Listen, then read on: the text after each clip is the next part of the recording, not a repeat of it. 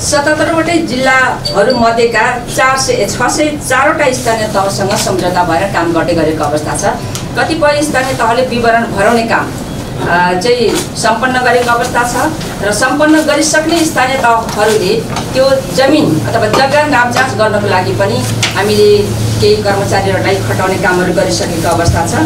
र त्यसमध्ये यो भूमिसँग जोडिएका जसलाई हामीले जमिन दिन्छौँ जग्गा दिन्छौँ त्यो जग्गा नापजाँच गर्नको लागि जम्मा एक सय तिसवटा जना सर्वेक्षकलाई तल पठाइसकेको अवस्था छ काम गर्दाखेरि अब विभिन्न ठाउँमा सरकारी सार्वजनिक गुठी जग्गाको छानबिन गर्न गठित आयोग एउटा बनाइ बनाइएको थियो पहिले त्यसले पनि धेरै आफ्नो कामहरू सम्पन्न गरेको थियो र केही रिपोर्टहरू समेत तयार गरेर त्यो रिपोर्ट अनुसार पनि केही काम पनि हामीले यहाँबाट गर्ने काम गरिरहेका छौँ र हामीले सबैलाई के भनेका छौँ भने त्यस्ता समस्याहरू आयो भने डाइरेक्ट तपाईँहरूले यसमा सम्पर्क गरेर त्यो गुनासाहरू राख्न सक्नुहुन्छ भनेको छ। अब यो सङ्ख्या बढ्छ होला।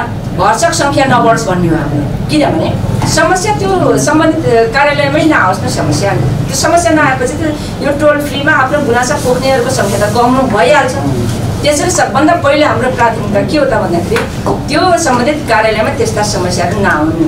सर्वसाधारण जनता जसले सेवा प्राप्त गर्नको लागि आउनुहुन्छ उहाँले त्यस्ता समस्या अ, अ, सँग झेल्न नपरोस् भन्ने नै हो।